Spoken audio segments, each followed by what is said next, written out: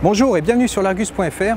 Alors aujourd'hui nous sommes sur les pistes 4x4 de la Ferté-Gaucher pour essayer un véritable mastodonte puisqu'il s'agit du Ford F-150 Raptor. Alors ce véhicule n'est pas importé en France mais on a tout de même la chance de l'essayer. Alors par rapport à l'ancienne génération il est plus motorisé par un V8 mais bon son V6 3.5 développe tout de même 450 chevaux et vous allez voir on va bien s'amuser sur les, sur les pistes.